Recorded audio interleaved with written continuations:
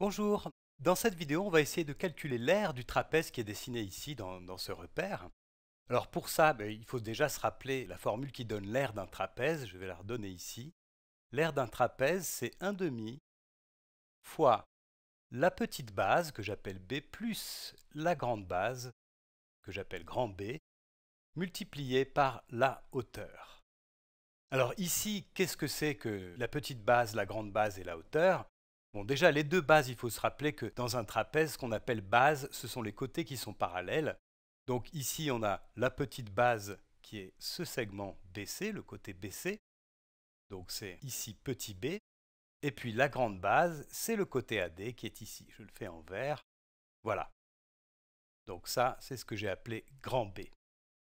Ensuite, la hauteur, eh c'est la distance qu'il y a entre les deux bases, qui est matérialisée ici. On le voit, c'est ce segment CE qui est là. Alors, la hauteur, c'est, je vais le faire en rose, c'est ce segment-là, CE. Donc ça, c'est notre hauteur H. Alors si tu n'es pas familier avec cette formule, avec la formule qui donne l'air d'un trapèze, on a fait plusieurs vidéos sur la Khan Academy, je te conseille d'aller les revoir.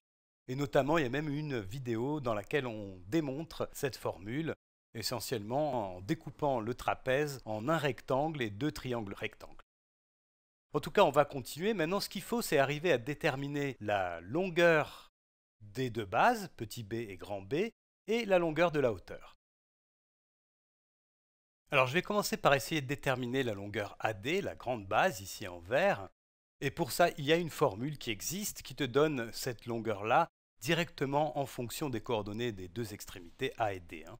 Mais comme cette formule, c'est essentiellement une application du théorème de Pythagore, en fait, je te conseille de ne pas trop encombrer ton cerveau avec cette formule, parce que tu peux la retrouver très facilement. Alors ici, ce que je vais faire, c'est décomposer le trajet qui va de A à D en deux trajets, un trajet horizontal et un trajet vertical. Et le premier trajet horizontalement, je vais le dessiner ici, je vais partir de A et je vais arriver jusqu'à un point qui a la même abscisse que D. Voilà. Donc ici, ce qui est intéressant, c'est de remarquer qu'est-ce qui s'est passé, comment on variait les abscisses entre ce point-là et ce point-là. On arrive à une abscisse de 8 et on était parti d'une abscisse de moins 4. Donc euh, la variation de cette abscisse, c'est 8 moins moins 4. Et ça, ça fait 8 plus 4, c'est-à-dire 12. Et tu vois qu'effectivement, cette distance-là, ben, tu peux le lire hein, sur le graphique, ça fait exactement 12 unités. Et puis je vais faire la même chose verticalement. Je vais me déplacer maintenant de ce point-ci au point D. Donc ça me donne ce trajet-là. Et je vais regarder qu'est-ce qui s'est passé concernant les ordonnées entre ce point-ci et ce point-ci.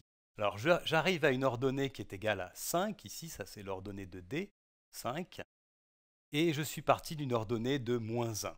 Donc ici les ordonnées ont varié de 5 moins moins 1.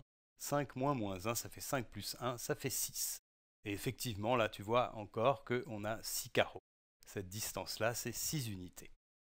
Voilà. Donc maintenant, ce qu'on peut faire, c'est appliquer le théorème de Pythagore, puisque on a ici un triangle rectangle, et puis on connaît ce côté qui est égal à 12 et ce côté qui est égal à 6. Donc la longueur AD, eh bien c'est la racine carrée de 12 élevé au carré plus 6 élevé au carré.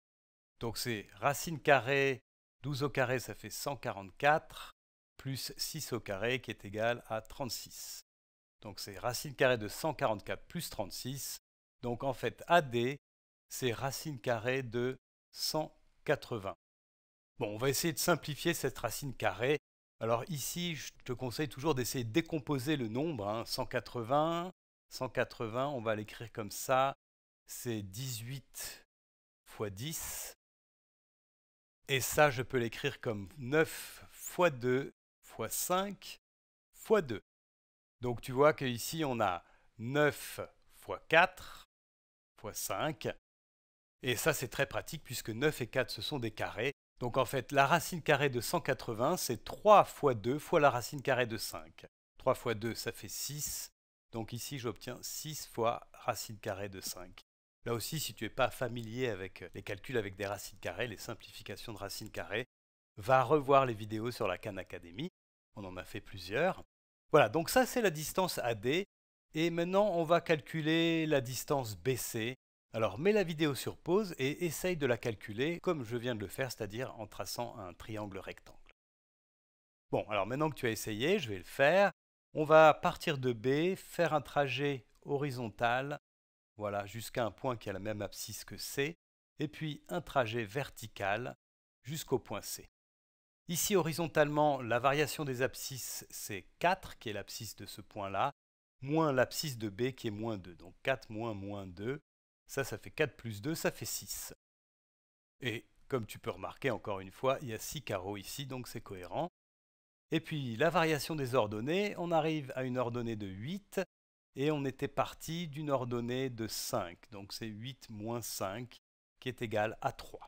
Et maintenant que j'ai les, distances qui sont ici, les longueurs de ces deux côtés-là dans mon triangle rectangle, je peux calculer la longueur BC comme je l'ai fait tout à l'heure en appliquant le théorème de Pythagore. C'est racine carrée de 6 au carré plus 3 au carré. C'est donc racine carrée de 36 plus 9. BC, c'est racine carrée de 45 et 45, c'est 9 fois 5, donc racine carrée de 45, c'est 3 fois racine de 5. Voilà, alors on n'a pas tout à fait terminé. Je vais reprendre les notations que j'avais utilisées tout à l'heure. La base grand B, c'est cette longueur-là, AD. La base petit b, la petite base, c'est la longueur BC. Et pour appliquer la formule, il faut encore qu'on trouve la hauteur h, et la hauteur h, c'est la longueur du segment CE. H, c'est la longueur du segment CE. Et pour calculer cette longueur-là, eh bien, je vais faire comme tout à l'heure, je vais faire d'abord un trajet horizontal, comme ça, et puis un trajet vertical, comme ça. Et je vais calculer exactement de la même manière la variation des abscisses.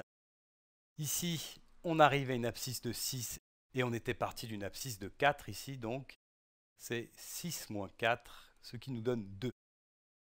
Et maintenant, la variation des ordonnées, donc cette distance-là, eh bien c'est l'ordonnée de E qui est égale à 4 moins l'ordonnée de ce point-ci qui est égal à 8. 4 moins 8, ça fait moins 4. Alors on a un nombre négatif ici, ce qui ne correspond pas tout à fait au fait que j'ai appelé ça une distance mais c'est parce que le signe moins euh, montre que en fait les ordonnées ont diminué. Hein. Mais ça, ça ne va pas tellement nous gêner dans le calcul, puisque ce que je vais faire, c'est appliquer cette formule-là. Donc h, la hauteur h, c'est la longueur de ce segment, donc c'est 2 élevé au carré, ce côté-là élevé au carré, plus ce côté-là élevé au carré, qui est égal à moins 4, donc moins 4 élevé au carré.